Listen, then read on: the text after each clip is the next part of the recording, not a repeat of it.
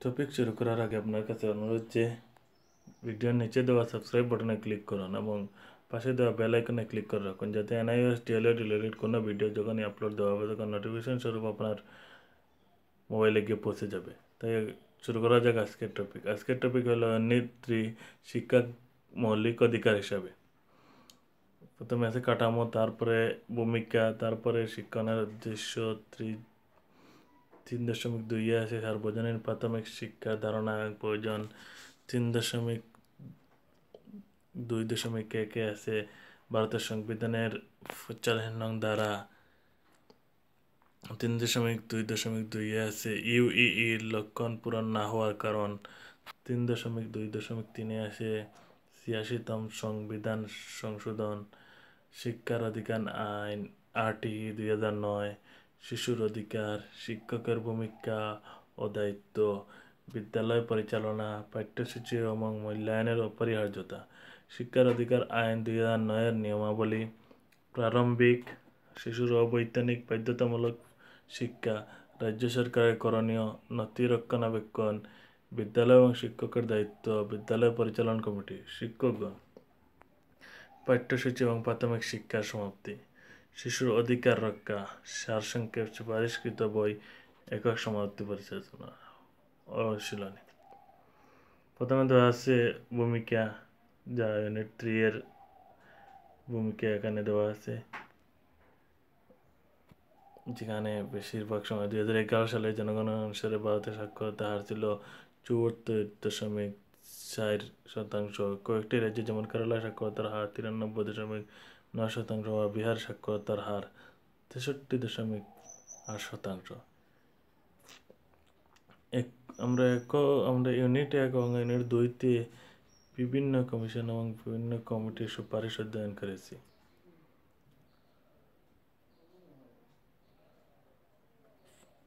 প্রাথমিক শিক্ষা পাঠ্যসূচির পরিবর্তন এবং এনসির বিভিন্ন অনুমান অধ্যয়ন করা হয়েছে। ইউনিট এক এবং দুইয়ে। এখন আমরা এই ইউনিটে আমরা অধ্যয়ন করব কীভাবে শিক্ষা মৌলিক অধিকার হিসেবে স্বীকৃতি পেল, আমরা শিক্ষার অধিকার আইন দুই হাজার নয়ের বিভিন্ন দিকগুলো আলোচনা করব। সম্মিলিত জাতিপুঞ্জ অধিকার সম্পর্কিত দুটি গুরুত্বপূর্ণ দলিল ঘোষণা করা হয়েছে, করেছে উনিশশো আটচল্লিশ সার্বজনীন মানবাধিকার ঘোষণা করেছে, উনিশশো উনষাট সালে শিশুর অধিকার ঘোষণা করেছে। যদিও আমরা একবিংশ শতাব্দীতে বাস করছি, আমরা জানি হাজার হাজার মানুষ এখনও দরিদ্র সীমায় বাস করছে।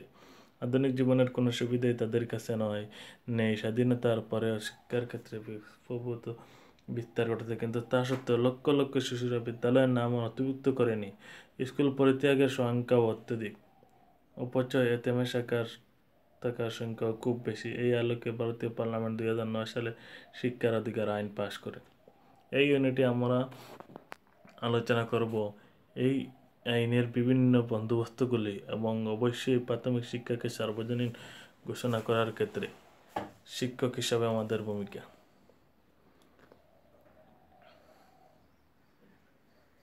তিনারে ব্লক, ইউনিট তিনের এক দশমিক তিন দশমিক একের এখানে দেওয়া আছে শিক্ষণের উদ্দেশ্য।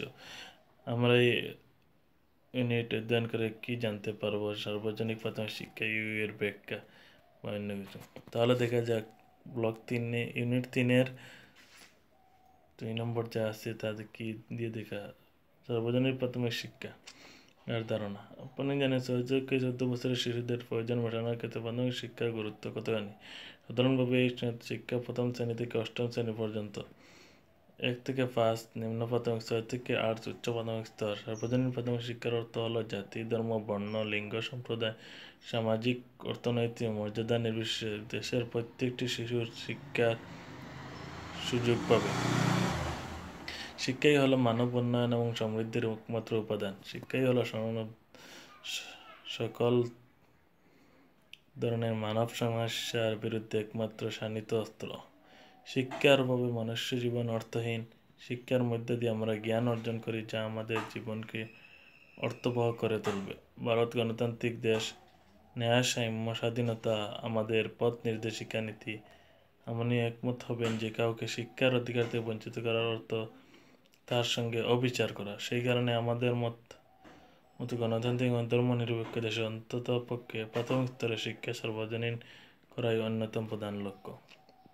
ভারতের সংবিধানে পঁয়তাল্লিশ নং ভারতের সংবিধানে পঁয়তাল্লিশ নং দ্বারা কি দেওয়া আছে ভারতের সংবিধান মানব উন্নয়নের ক্ষেত্রে ক্ষেত্র সম্পর্কে অত্যন্ত যত্নবান সংবিধানের পঁয়তাল্লিশ নং দ্বারা ছয় থেকে ছয় বছরের শিশুদের অবৈজ্ঞানিক বাধ্যতামূলক শিক্ষার কথা বলা হয়েছে আপনি অবগত আছেন যে সকল যে সকল পঞ্চম বার্ষিকী পরিকল্পনায় সার্বজনীন প্রাথমিক শিক্ষার বিষয়ে উল্লেখ করেছিল সরকারি বেসরকারি প্রতিষ্ঠান স্বেচ্ছামূলক প্রতিষ্ঠান এই কাজে উদ্যোগ গ্রহণ করেছিল, কিন্তু সেই লক্ষ্যে পৌঁছানো সম্ভব হয় ইউইর লক্ষ্য অসাফল্যের কারণ। ইউইর লক্ষ্য সাফল্যের কিছু কারণ। এক নম্বর, জনবিস্ফোরণ। দুই নম্বর, দরিদ্রতা। তিন নম্বর, কৃষিভিত্তিক অর্থনীতি। চার নম্বর, যোগাযোগের অভাব। পাঁচ নম্বর, বেকারত্ব। ছয় নম্বর, আগ্রহের অভাব।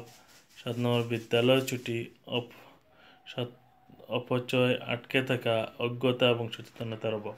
লিঙ্গভিত্তিক পক্ষপাতিত্ব, দশ নম্বর জীবনের স্থিরতার অভাব। জনপ্রিয় সুরন।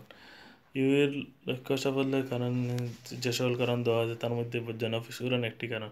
তাহলে দেখা যায় জনফিসুরন কী কীভাবে অসাফল্যের কারণ হয়ে দাঁড়িয়েছিল? জনফিসুরন সংখ্যা সুযোগ সম্প্রসারণ এবং পরস্পর সম্পর্কিত বিদ্যালয় শিক্ষার সুযোগ বৃদ্ধি পেলেও দেশের প্রত্যেক শিশুর কাছে শিক্ষার সুযোগ এখনও পর্যন্ত পৌঁছায়নি। জনসংখ্যা হার বৃদ্ধির তুলনায় শিক্ষা উন্নয়ন অনেক বেশি। আপনি জানেন যে জনসংখ্যা বৃদ্ধির দ্রুত হার আমাদের জীবনের চলার প্রতি বিপুল সংখ্যার সৃষ্টি করেছে। ইউএর অসাফল্যের দুই নম্বর কারণ যা হচ্ছে দরিদ্রতা। হাজার হাজার পিতামাতা সন্তানকে বিদ্যালয়ে পাঠানো বিদ্যালয়ে পাঠানো বিলাসিতা মনে করে। তার কারণে এই বিষয়ে তারা কোনো ব্যয় করতে পারে না। তাদের সন্তানদের কঠোর পরিশ্রম করে জীবিকা অর্জনের জন্য। তাই তারা শিশুদের, শিশু সন্তানদের বিদ্যালয়ের নাম নথিভুক্ত করে না। আমরা প্রায় অনেক নবীন শিশুদের বিভিন্ন ধরনের কাজ করতে থাকি। তিন নম্বর ইউএর অসাফল্যের কারণ। কৃষিভিত্তিক অর্থনীতি, দারিদ্রতা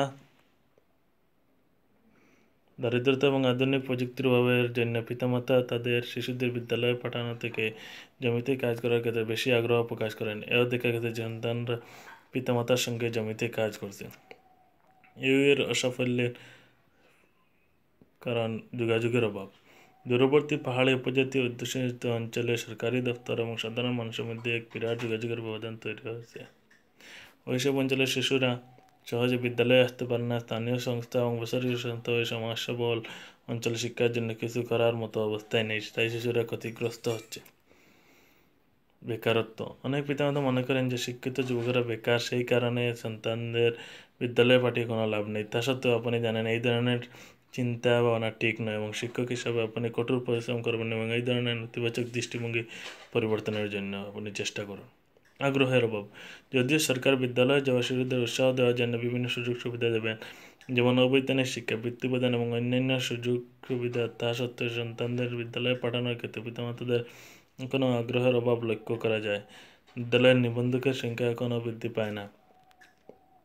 বিদ্যালয় সুট, অপচয় আটকে থাকা আমরা অভিজ্ঞতায় দেখেছি যে যদিও শিশুরা বিদ্যালয়ে নথিভুক্ত করেছে, কিন্তু বিভিন্ন কারণে তারা পড়া ছেড়ে দেয়। অপচয় এবং আটকে থাকা বড়, একটা বড় বাধা হয়ে দাঁড়ায় প্রাথমিক শিক্ষার ক্ষেত্রে। অজ্ঞতা এবং সচেতনতার অভাব। শিক্ষার মূল্য সম্পর্কে অজ্ঞতা হলো অভিশাপ। আমাদের সমাজে পিতামাতাদের বেশিরভাগ ভাগ অংশই মানব জীবনে শিক্ষা গুরুত্ব অনুদমন করতে পারে না এবং এই অজ্ঞতার জন্য তারা তাদের সন্তানের নাম বিদ্যা দ্বন্দ্বের বিদ্যালয়ে নাম নথিভুক্ত করায় না। লিঙ্গ সম্পর্কে তো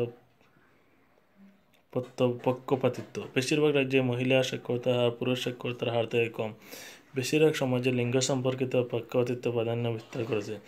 আমরা প্রায় লক্ষ্য করেছি যে শিক্ষা ব্যবস্থা ছেলে শিশুর জন্য, অপরদিকে মেয়ে শিশুর শিক্ষা অবহেলিত। পরিবর্তে তাকে বাধ্য করা হয় বাড়ির কাজে, মাকে সাহায্য করতে এবং ছোট ভাই বোনদের দেখাশোনা করতে। জীবনের দায়িত্বের অভাব।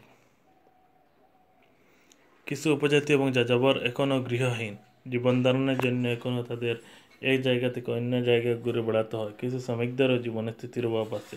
অনেক শিশু অনাথ আমরা মনে করতে পারি এই ধরনের বিষয়ে শিক্ষা নেওয়া তাদের কাছে অনেক দূরের স্বপ্ন। তাহলে এখানে কয়েকটি প্রশ্ন এই বিষয়ে দেওয়া আছে। এক নম্বর প্রশ্ন হচ্ছে, সর্বজনীন প্রাথমিক শিক্ষার অসাফল্যের আরও তিনটি কারণ উল্লেখ করুন। দুই নম্বর, আপনি কি স্বাক্ষর ব্যক্তি এবং অস্বাক্ষর ব্যক্তি জীবনযাত্রায় কোনো পার্থক্য রয়েছেন কী ধরনের পার্থক্য আপনি লক্ষ্য করেন? স্বাক্ষর ব্যক্তি এবং স্বাক্ষর ব্যক্তির মধ্যে নিম্নবিন্নিত বিষয়গুলোর দিকে লক্ষ্য করে। পর্যবেক্ষণ রেকর্ড করুন। এক নম্বর, জীবনের প্রতিভঙ্গি, প্রতি দৃষ্টিভঙ্গি, সামাজিক পূর্ণতা, জ্ঞানের স্তর, আর্থিক মর্যাদা, শিশুর শিক্ষাগত মর্যাদা, পরিবারের আকৃতি, জীবন ধারণের মান। তাহলে আজকে আমরা বেশিরভাগ দেখতে পেলাম যে ইউই কি এর অসাফল্যের কারণ কি? আরও অনেক কিছু দেখতে পেলাম।